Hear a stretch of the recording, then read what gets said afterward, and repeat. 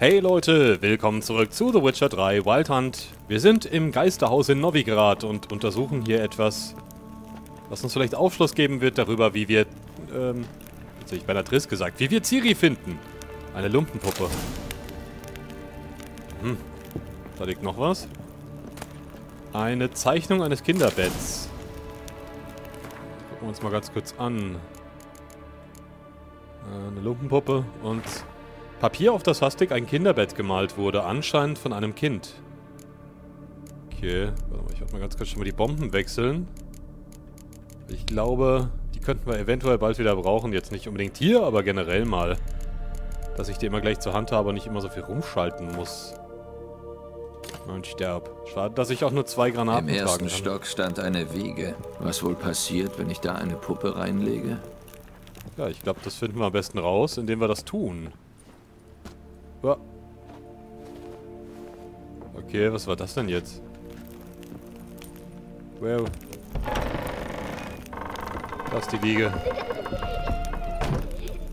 Sie sieht aber schon recht wollüstern aus, wie sie da rumliegt, die liebe Corinne, oder? So ein ganz, ganz kleines, knappes Hemdchen und so weiter.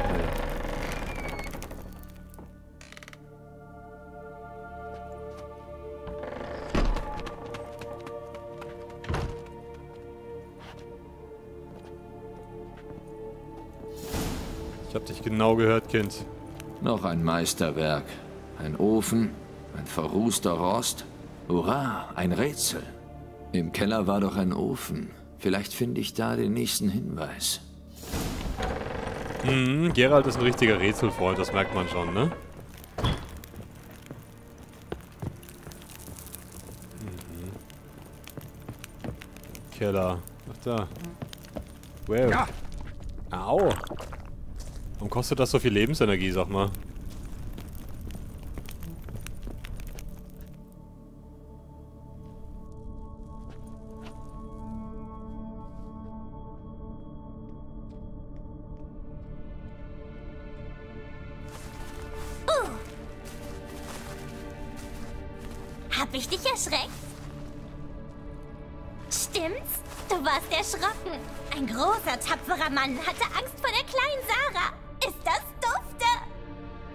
Das nicht machen, Sarah. Vielleicht erschreckst du mal jemanden derart, dass er dir was antut. Warum sollte mir jemand was antun? Darf man sich nicht mehr amüsieren? Was spielst du denn? Die Frau ist eingeschlafen. Und ich habe ihr ein paar fürchterliche Träume geschickt. Ich weck sie auch nicht. Das könnte ich. Lustig, nicht? Sehr lustig. Aber ich muss mit der Träumerin reden. Lass sie doch bitte aufwachen. Klein Sarah will nicht, dass sie aufwacht. Klein Sarah will spielen. Ich weiß, dass du ein harmloser Göttling bist. Aber andere wissen das vielleicht nicht. Und dann... Woher willst du wissen, dass ich ein Göttling bin? Woher, hm? Hm? Wenn jemand so aussieht und sich so benimmt, glaub mir, du bist einer. Du verschaffst der Träumerin Albträume und lässt sie nicht aufwachen. Warum quälst du sie? Ich quäle niemanden. Albträume sind toll. Vor allem, wenn das große Huhn mich jagt. Es hat so rote... Warum lebst du in einem Geisterhaus? Ich verrate dir ein Geheimnis. Es spukt hier überhaupt nicht. Ich tue nur so, damit das alle denken. Das Haus stand so leer rum. Da bin ich eingezogen. Dann hat's der Großkotz von der Bank gekauft. Ich mag Bankiers nicht. Erst recht nicht als Mitbewohner. Also habe ich ihn erschreckt. Du hast ihn wirklich arg erschreckt. Sieh mal, er hat so viel bezahlt für das Haus. Da gibt er nicht einfach auf. Du musst dir was anderes suchen. Will ich aber nicht. Will nicht, will nicht. Die ist ein bisschen störrisch, ne? Sarah, Novigrad ist kein Ort für einen Göttling. Aber wenn du hier leben willst, bitte, lass uns eine Abmachung treffen. Eine Abmachung? Lass die Träumerin in Ruhe. Und ich sag dem Bankier, dass man das Haus nicht von seinem Fluch befreien kann. Das würdest du ihm sagen? Und wenn er dir nicht glaubt? Ich bin ein Hexer. Er wird mir glauben. Ja, ja, ja. Ich verspreche dir auch, dass ich deine Freundin ganz und gar in Ruhe lasse. Du bist schrecklich nett, weißt du das? Das höre ich nicht oft. Danke. Dann weck die Schlafmütze auf. Ich mach nichts. Sie wird aufstehen. Oh, ich mag Göttlinge, die sind super. Wie so kleine verspielte Kinder einfach. Die meinen es nicht böse, die meinen es eigentlich nur gut. Also, zumindest das, was ich jetzt mitgekriegt habe. Ich habe ehrlich gesagt vorher noch nichts von Göttlingen gehört. Vor diesem Spiel. So, Corinne. Zieh dir mal was... Ah, nee. Zieh dir mal nichts an. Das ist okay so. Eieiei. Wer bist du? Triss Marigold schickt mich. Götter, grässliche Albträume. Ich sollte die Geschichte des Hauses träumen, aber stattdessen sah ich hungrige Möbel, die mich fressen wollten. Ich weiß, es hört sich albern an, aber der Traum, er war viel zu real und gar nicht komisch. Das war ein Göttling. Sie wollte allen weismachen, dass es in diesem Haus spukt. Sie hat auch deine Träume mit ihren Scherzen garniert. Und du konntest mich wecken? Ach, welch ein Glück. Wir Hexer haben unsere Methoden. Ich danke dir vielmals. Diese Träume waren fürchterlich. Kann ich mich revanchieren? Kannst du. Ich suche nach einer jungen Frau, die in Novigrad gesehen wurde. Vielleicht kann ich dir helfen. Aber zuerst muss ich den Kopf frei bekommen. Der ist nach diesen absurden Träumen wie voller Spinnenweben. Triff mich im goldenen Stör. Da habe ich ein Zimmer. Gut. Wir sehen uns dort. Na, okay. Das mache ich doch gerne. Ach ja, diese kleinen Wichte. Die sind lustig. Ich finde sie lustig. So, dann muss ich dem Bankier mal eine unschöne Geschichte erzählen über den Göttling. Ich sah Fräulein Corinne gehen, aber sie wollte nicht mit mir sprechen. Ist das Problem gelöst oder ist das Gegenteil der Fall? Eigentlich beides. Ein Dämon hatte sich Corinns bemächtigt. Ich konnte sie befreien, aber im Haus spukt es noch immer. Hat sie die Geschichte des Hauses geträumt? Ja, recht scheußlich offenbar. Sie wollte gar nicht drüber reden. Hier sollte niemand wohnen. All die Kronen, die ich bezahlt habe. Naja, ich lande schon nicht im Armenhaus. Seht ihr, so schlimm ist das nicht. Der wird es überleben, der Kerl. Der hat wahrscheinlich genug. Und Sarah hat ein neues Haus. Einfach mal so. Seht ihr mal, auch als Hausbesetzer kann man hier was erreichen. Äh, ich werde mal ganz kurz ein bisschen rasten, weil ich möchte ungern hier bei dem Wetter rumlaufen. Es ist zwar cool und alles, aber man sieht so wenig. So ist doch viel schöner, oder? So ohne Regen. Ach ja. Ist alles noch ein bisschen Wolken verhangen, aber ich glaube, es wird ein schöner Tag. Du Chase. Was willst du? Kein Wort verstanden. So, ihr lieben Leute. Ihr seid aber schon ganz schön früh auf dem Markt. Oh, oh da sind... Was ist da denn los? Warum sind die drei rot? Willkommen, willkommen. Hm. Was hast du denn da? Ich finde es ein bisschen bedenklich, dass die eben ihre Schwerter gezogen haben, als ich um die Ecke kam, ne? Nur mal so. So, den kann ich verkaufen, den Gambeson. Wahrscheinlich geht es gleich rund und die wollen mir den Kopf abhacken. Aber ich glaube, das mache ich mal bei denen, oder? Was haltet ihr davon? Was ist, warum kann ich die Waffen nicht verkaufen? Sind die zu schlecht oder was? Ich würde auch nie mit einer Axt kämpfen, nur mal so. Warum sollte ich mit einer Axt kämpfen? Ich bin ein Witcher. Ein Hexer. Der Hexer. Hm. Nee. Angriffskraft. Das geht nur bei Schwertern. Aber Geld ist mir jetzt erstmal lieber. Ganz viel Geld. So, seht mal, da habe ich schon... Oha. 11.400 Kronen. Aber noch was? Und ich habe 666 Erfahrungspunkte. Das ist auch lustig. Na komm. Bis dann. Was? Ihr seid Level 1er Banditen. Hab ich dir was gesagt von Kopf abhauen?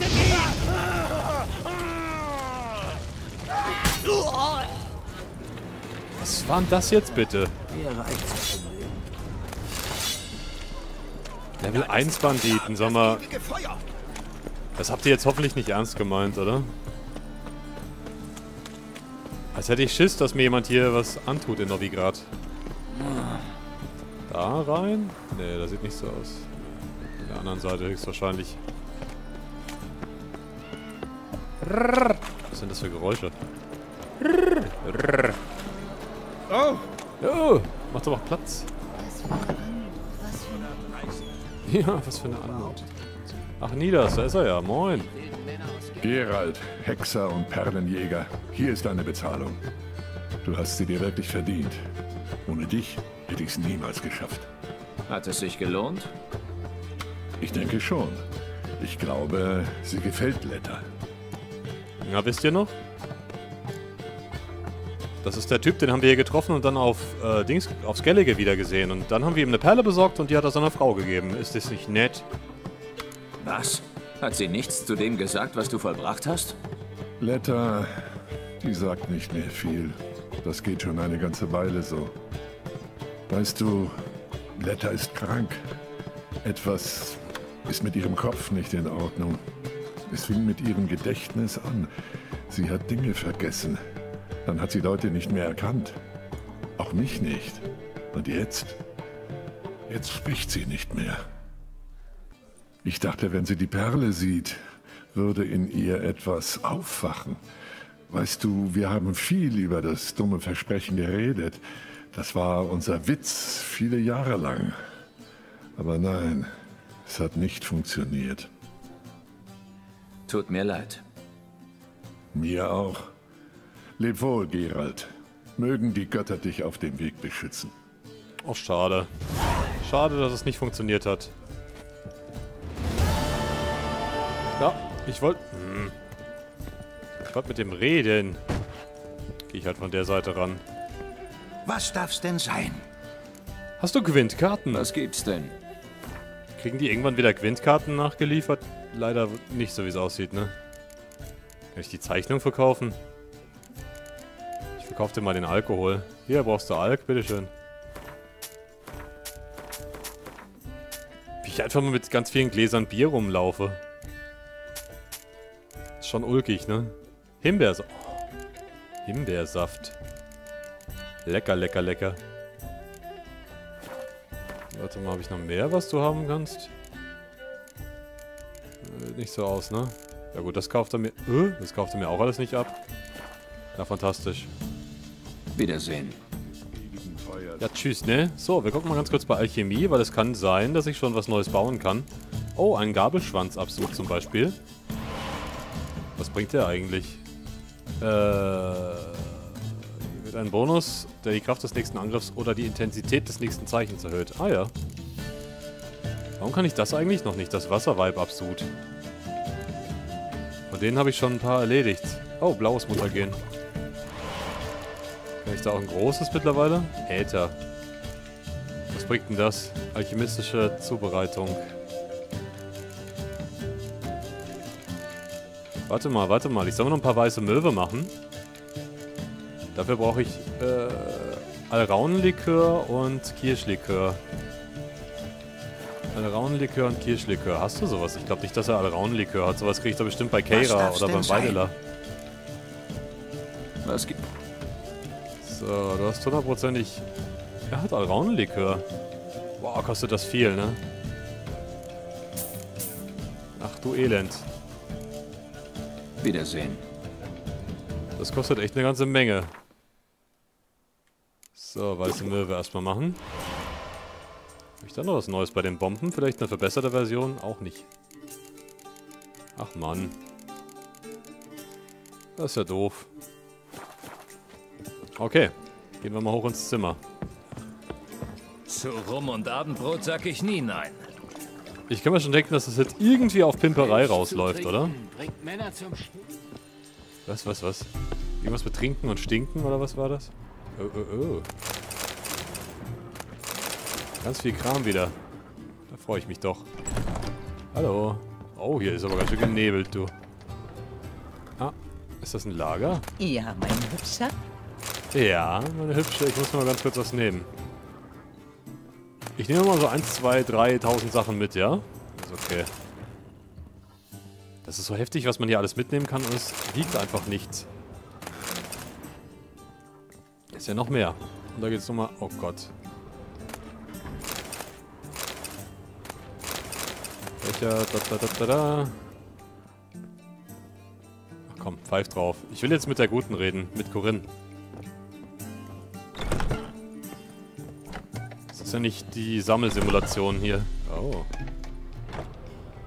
Obwohl, das werde ich mir jetzt mitnehmen noch. Na. Wow. So, oh. Wollebfall. Eieiei, wie sie schon da sitzt, ne? Hier träume ich.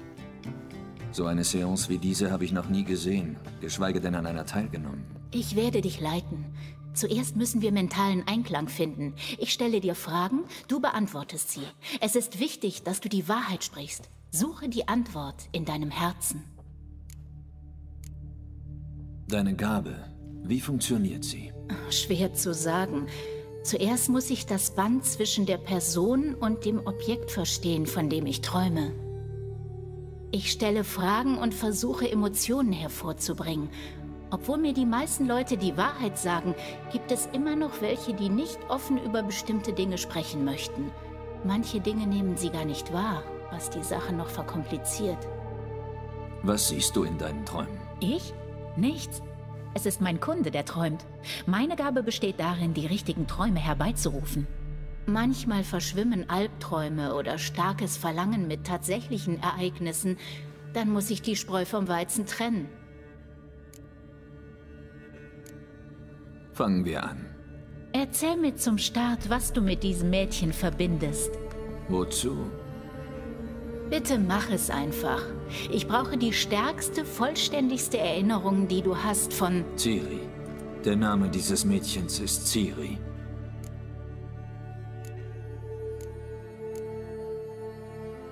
Ciri wurde während des Zweiten Krieges mit Nilfgaard zur Waise. Ich wusste nichts mit einem so kleinen Mädchen anzufangen. Also tat ich das, was ich mit einem Jungen tun würde. Ich brachte sie nach Kaer Morhen. Etwas Ausdauer, Kraft und Schwertkampftraining würde ihr schon nicht schaden. Ich weiß noch, wie sie auf einer bröckeligen Mauer stand. Ein Stein löste sich, sie verlor den Halt. Ich konnte sie gerade noch auffangen. Meine stärkste Erinnerung ist aber diese. Eines Tages kam sie aus ihrem Zimmer. Sie trug ein Kleid und sagte, sie fühle sich unwohl. Da wusste ich, dass Ciri erwachsen wurde. Es war unvermeidbar. Ich konnte gar nichts dagegen tun. Verstehe. Willst du mir noch mehr sagen? Ja, ich glaube schon. Dann bin ich ganz Ohr. Ich erledigte einst einen Auftrag, sollte meine Belohnung wählen und wählte das Gesetz der Überraschung. Hätte nie gedacht, dass ich das mir damals versprochene Kind treffen würde. Jahre später war ich im Brokilon-Wald. Dort traf ich zufällig ein Mädchen. Ich kannte sie nicht. Die Driaden wollten sie behalten. Sie sollte eine der ihren werden. Aber das Wasser des Brokilon hat bei ihr nicht gewirkt. Ciri hat den Brokilon mit mir verlassen. Ich habe sie zurück zu ihrer Großmutter geschickt. Aber ich fühlte mich schon mit ihr verbunden. Durch das Schicksal? Durch etwas Stärkeres. Danke. Mhm. Möchtest du noch eine Erinnerung mit mir teilen? Die beiden waren sich direkt sympathisch, das weiß ich noch. Gerald hat sie immer Rotznase genannt und sie war so ein bisschen frech zu ihm. Aber. hm. Ja, Keine Eile. Wir haben Zeit. Man merkte gleich, dass die beiden sich mögen. Ich fand das schön im Buch, die Stelle im Brokilon. es war ein Riva. Der zweite Krieg mit Nilfgaard war gerade zu Ende gegangen. Trotzdem gab es noch Spannungen. Aus irgendwelchen Gründen brachen Rassenunruhen aus. Ich habe alles versucht, aber diese wütende Meute konnte ich nicht aufhalten. Da war dieser Junge mit einer Mistgabel. Rammte sie direkt in meinen Bauch. Auch Jennifer lag im Sterben. Ciri hatte uns auf ein Boot geschleppt. Wir fuhren an einen Ort, wo Apfelbäume ewig blühen. Sie ließ uns dort zurück. Dort sah ich sie das letzte Mal. Willst du noch was hinzufügen? Vielleicht noch eine Erinnerung? Ja, da ist noch was. Schon gut. Sag mir nicht mehr, als du willst. Das war nach ihrer Ausbildung in Kaer Morhen, nachdem Jennifer sie das erste Mal ihre Tochter nannte. Wir wurden getrennt. Ich wusste, dass sie in Gefahr schwebte. Ich habe oft von ihr geträumt. Ich fand sie im Schloss Sticker. Sie wollte dort Yen befreien und wurde dabei gefangen genommen. Sie wollten ihr wehtun. Ich erinnere mich, wie ich Seite an Seite mit Ciri kämpfte. Auf Stufen, die vom Blut rutschig waren. Dort wehrte sie zum ersten Mal einen Armbrustbolzen mit ihrem Schwert ab. Ich sagte ihr, mach das nie wieder.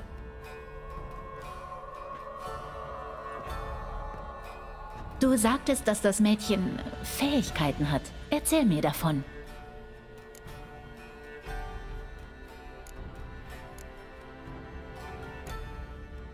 Sie nennen Ciri die Herrin der Zeiten und Welten. Einmal habe ich Jennifer nach dem Grund dafür gefragt. Sie reist zwischen den Welten. Ich kann es nicht gut erklären. Ich habe nicht viel von dem verstanden, was Jen mir erzählt hat. Ich weiß nur, dass noch mehr dahinter steckt als nur die Reise zu anderen Orten. Und dass Ciris Blut sehr, sehr mächtig ist. Verstehe. Möchtest du noch mehr sagen? Ja, da ist noch etwas. Sie ist ein Kind vom älteren Blut. Eine Tochter der blutigen Falker? Der Rebellin, die auf dem Scheiterhaufen verbrannte? Der Prophezeiung nach wird der Weltenzerstörer aus dem verfluchten Blut des Unruhestifters wiedergeboren. Reine Legende. Und wann wird eine Legende zur Prophezeiung? Wenn sie Anhänger findet. Kein Wunder, dass du so zögerlich über das Mädchen sprichst. Verstehe. Möchtest du noch mehr sagen? Ja, da ist noch etwas. Ich weiß noch, dass Ciri ihre Fähigkeiten nicht richtig kontrollieren konnte. Yennefer wollte ihr einfache Zaubersprüche beibringen und Ciri hat daraufhin einen Schuppen in der Nähe zerstört. Sie war ganz geknickt, obwohl es nur ein alter Schuppen war. Lange hat sie versucht, ihre Fähigkeiten unter Kontrolle zu bringen, aber ich befürchte, sie hat es bis heute nicht richtig geschafft. Verstehe. Möchtest du noch mehr sagen? Nein. Können wir anfangen? Natürlich. Du sorgst dich um sie. Aber deine Stimme... Du versuchst deine Gefühle zu verbergen. Können wir bitte weitermachen? Leg dich neben mich und versuche dich zu entspannen. Du musst meine Hand nehmen und über Ciri reden. Sag mir, wo sie sich aufhalten und wer ihr Begleiter sein könnte. Hm. Wenn Ciri mich nicht finden konnte, hat sie bestimmt nach anderen Freunden gesucht. Wen meinst du? Jennifer war nicht in Novigrad. Triss schon, aber Ciri hat sie nicht gefunden. Rittersporn vielleicht? Sie mochten sich gerne.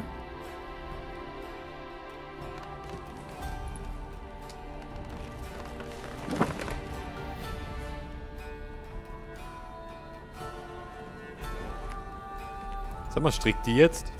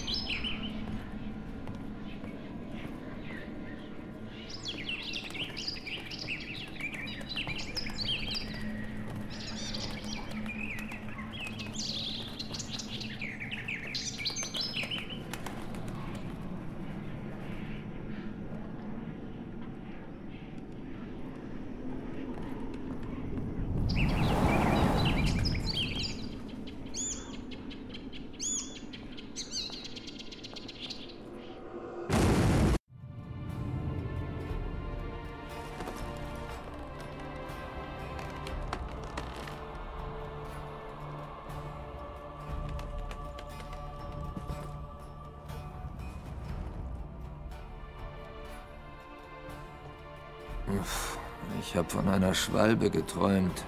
Danach hatte ich nur noch Albträume. Manchmal können Träume sich vervielfachen und die Vergangenheit ebenso zeigen wie die Zukunft. Die Schwalbe ist Ciris Zeichen. Sie hat Rittersporn getroffen. Ich wusste nicht, dass er in der Stadt ist. Der Poet? Ich habe von ihm gehört. Jemand hat ihm das Rosmarin und Thymian vermacht. Rosmarin und Thymian? Wo ist das? Wenn du die Stadt durch den Rotlichtbezirk betrittst, kommst du zu einer Brücke. Das Rosmarin ist direkt dahinter. Rittersporn hat ein Bordell geerbt. So habe ich das gehört. Warum wundert mich das nicht? Danke für deine Hilfe. Viel Glück, Hexer. Ich hoffe, du wirst deine Ciri finden. ich find's klasse. Rittersporn und Bordelle. Das ist wie Geralt und Monster. Ach ja. ja. Rittersporn hat auf jeden Fall eine Wirkung auf Frauen. Ihr seht ja, der Typ, der ist wahrscheinlich schon Mitte 30, aber sieht aus wie so ein Mit-20er oder End-20er. Also er hat sich gut gehalten, will ich sagen. Oh, ist ja schon wieder Abend, sag mal. Nee, es ist, es ist früh morgens. Nein. Was, was, was? Warum rennt die weg? Habe ich die Waffe gezogen oder was? Nö. Das habe ich schon gehört. Da gibt es so einen Bug, dass die Leute denken, man hat die Waffe gezogen, aber hat man nicht. Also nachts gefällt mir Novigrad auch sehr gut, muss ich sagen. Es hat sehr schöne Beleuchtung. Hallo. Habe ich einen Witz gemacht, Suchst oder? du was Besonderes? Äh, ja. Vielleicht. Na gut, dann wollen wir mal sehen, wo wir hier lang müssen. Das Thymian. Aha, das Tor des Hierarchen. Hey, da kann ich gleich nochmal tauchen gehen. Wisst ihr was? Das machen wir schnell noch. Wir gehen nochmal hier tauchen. Und gucken ganz kurz, was wir da finden. Du würdest echt irre aussehen. Auf mir. Aha, auf dir drauf. Das ist überhaupt... Oh. Oh. Warum retten die alle weg von mir? Beziehungsweise, warum macht ihr da solche... Kas Reißt euch zusammen, Jungs! warum macht ihr da solche Kaspereien? Ist so ein Problem? Noch ein Problem. Ins Gesicht.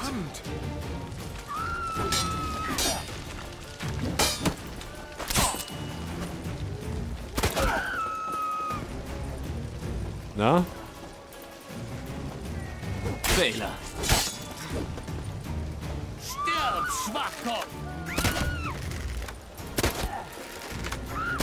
Du kriegst du nur mit der Armbrust. Bitte, überlasst ihn mir!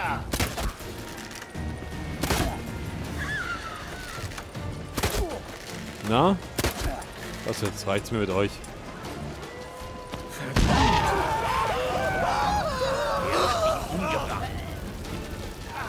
Na komm. Er spricht Flüche.